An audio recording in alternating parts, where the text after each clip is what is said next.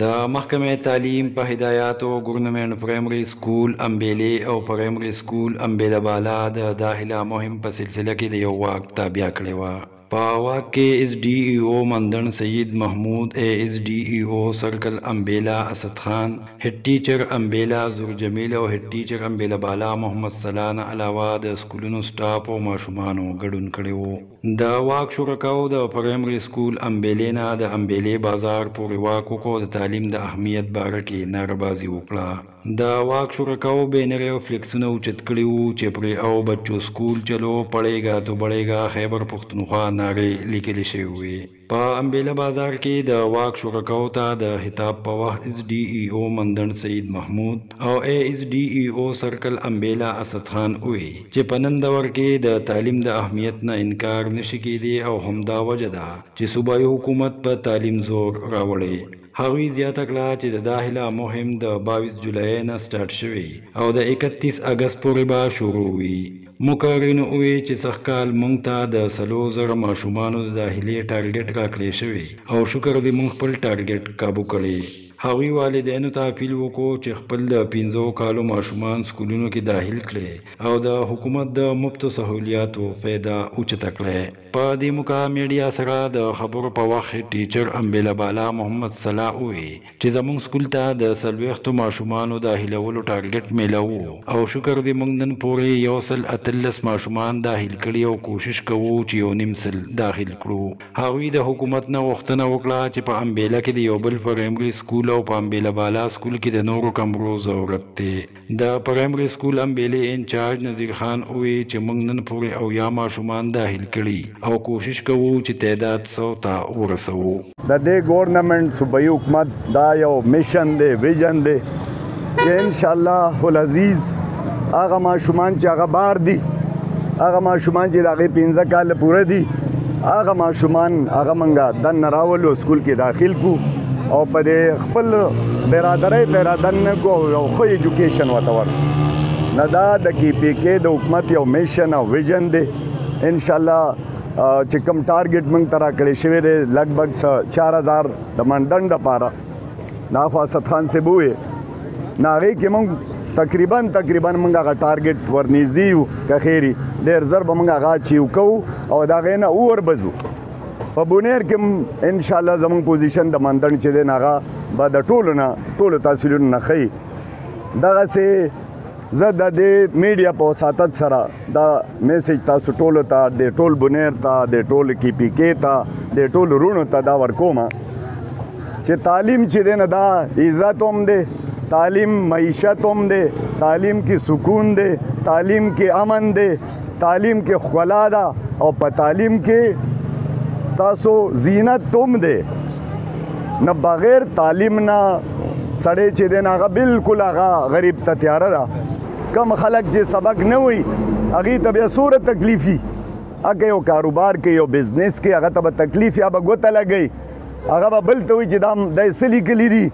زکه انتقال کوم یار سه چې کومه بارګیننګ کوم یا سه بارګین کوم سه خرڅو مالما نه هغه کې به ماته تکلیف او زب منشي نه سما نه تعلیم چې دی دا یوازې دا نه چې ماته د روزګار میلاو شي دا رڼا ده او دا سه رڼا ده چې ستا ژوند مد مخه تخکاری ستا فیوچر بخکاری دا د ترقې نوم دی کمنګ په دنیا باندې نظر واچو نه ټولې دنیا چې ترقی کړې ده هغه صرف د اول نه تعلیم حاصل کړي دي روستو بیا د تعلیم په برکت هغه ټمبم جوړ کړي وغیرہ وغیرہ هغه چې کوم ترقی کړي خدا نه چې جټ سړی ټمبم جوړ کړي دي ان پړې ټمبم جوړ کړي دي نه د ټولو نه مخکې زما دا ریکوست دی چې یاره کم ماشومان بار دي هغه د هغه برونه ته زما ریکوست دی چې هغه موږ سره داخل کی ان شاء الله او دا ماشومان به ډیرو خرابونم بچي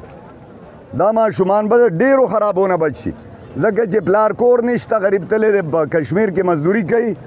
په کراچو کې مزدوري کوي د ماشوم نه خبر نه دی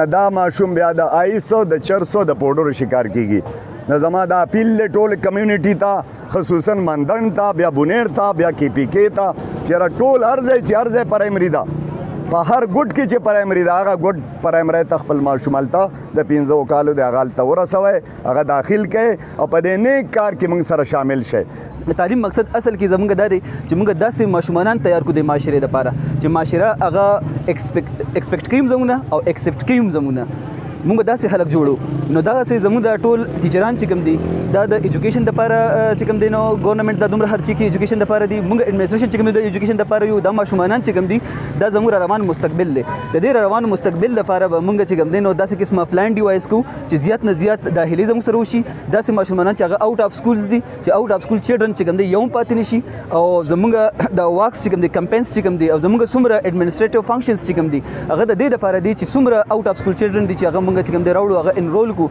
او موږ اډوکیشن چې کوم دي د پاکستان ګډ ګډ ته چې کوم دي هغه موږ اویلیبل کو نو په دې وساتت سره چې کوم دی دو نن موږ په دې غنه کې چې کوم دی چې ولاړ یو اس ډي او صاحب ولاړ دی جناب سید محمود صاحب دا کم هډ ماستران چې کم ټول ولاړ دي دا ټول بچنګي چې نن ټول راغون شوی دي د دې ټول مقصد دا دی چې دا موږ کمیونټي موبلایز کو چې کمیونټي موبلایز شي او د اغي چې کم دې موږ سره په دې مهم کې پوره پوره ایسه واخلي او هر یو ماشوم چې کم د دې سکول نه بهر دی چې هغه موږ سره په دې کې شامل شي ځکه چې تعلیم مقصد دا دی چې موږ د ماشومانانو په خوې کردار کې داسې تبدیلی راولو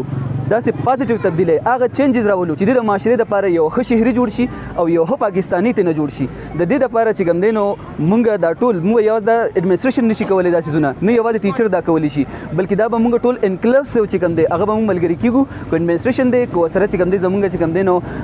ټیچرز کمیونټي دا کو زمونږ سره چې کوم دی عام تور چې کوم دی پیرنټس دي نو دا ټول زه د دې میډیا په وساتت سره چې کوم دی ټول ته دا پیغام ورکوم چې تاسو ټول مونږ سره چې کوم دی په دې مهم کې په دې کمپاین کې پارټیسیپیټ شي ترو اوټ بنیر ترو اوټ خیبر پښتونخوا بلکې ټول پاکستان خبره کوم په ځینې ځینو کې چې کوم دی بالکل لا اډمیشنز نه شروع ځینې ځای کې اډمیشنز شروع دي نو زه د دې میډیا په واسطه سره چې کوم دی ټول پاکستان ته چې کوم دی دا پیغام ورکوم او ټول بنیر ته پارټیکولر خیبر پښتونخوا ته چې تاسو څومره چې کوم دی ټیچرز کمیونټي ده چې دا کمیونټي موبلایز کی په خپل باندې ډور ټو ډور کمپاینو کې ماشومان چې په کوم ځای کې آوټ اف سکول چلډرن دي چې هغه انرول کی اعوذ بالله من الشیطان الرجیم بسم الله الرحمن الرحیم ربي زدنی علما زمونږ عمران بنيري صاحب څنګه چې زما اکثر په انټرو کې دا خبرې چې عمران بنيري صاحب چې د بنير د ایجوکیشن امبیسډر دی یو سفیر دی نو زه ستاسو ډیره زیاته شکریا ادا کوم چې تر اوسه په ایجوکیشن کې سور اکټیویټیز راغلي دي تاسو مس کړی نه دي نن هم بیا تاسو خپل حاضری مونږ ته وکړه نو زه تاسو بیا یو ځل شکریا ادا کوم